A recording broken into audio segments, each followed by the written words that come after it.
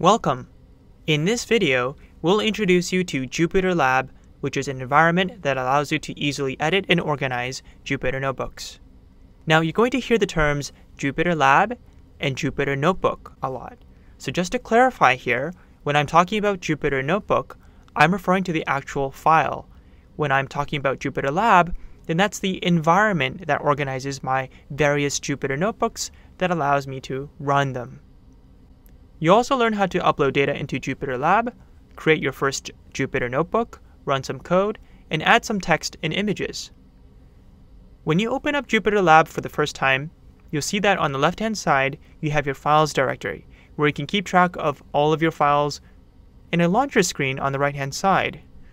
From this launcher, you can create new Jupyter Notebooks, currently available in Python 3, Scala, or R, and there are some other options for more intermediate users to explore, like coding directly in the console, using terminal, or writing your code in a text editor. On CC Labs, there are other features, like Cognos Dashboard Embedded for data visualization, and some sample Jupyter Notebook tutorials at the bottom. For this video, we'll just focus on the Jupyter Notebooks. Okay, let's first create a notebook in Python 3 and then we can dive into how to use Jupyter Notebooks. Jupyter Notebooks are made up entirely of cells.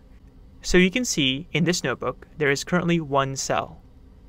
Let's type something inside the cell, like 1 plus 1, and then on your keyboard, press Shift-Enter, which executes the code using Python, and that returns 2. Now we can create even more cells by pressing the plus button at the top and write more code like setting x to be equal to the integer 1 and printing the output of x in a cell below. So all of these cells are actually what are called code cells, which allow you to run code using the interpreter, which in this case is Python 3. But how do we add titles or text to our notebook? Well, you will first need to convert the cell type from code into a markdown cell by clicking on a cell, choosing markdown from the drop-down menu, and now if you type in something like 1 plus 1 into this markdown cell and try to run it using Shift Enter, it gets converted directly into text. And to edit it again, simply double click on the cell. Now it's called markdown because it's actually a kind of syntax that allows you to stylize your text. For example, you can create titles or headers by using the pound symbol in a space followed by some text like my title. There are other ways to stylize your text as well, and here are some examples. But I encourage you to look up a Markdown formatting guide to find out all the different ways you can format your text. In Markdown cells, you can also use HTML as well. For example, if you want to embed an image, you can use the image source tag to embed an image. Now I want to show you on Jupyter Lab how to import data like a CSV file and use it in a Jupyter Notebook. To import data, you can simply drag and drop your data file directly into the Files directory on the left-hand side.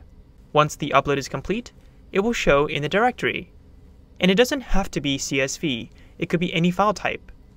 You can also create different folders to organize all of your files, especially if you're going to be working with lots of notebooks or data files. For CSV files, you can even double click on the file to open up a preview of its contents, which is really nice. But you can't really do much other than view the contents, however. So if you want to analyze or manipulate the data, that's when you want to use Python, R, or Scala. Let's create a new notebook running Python 3.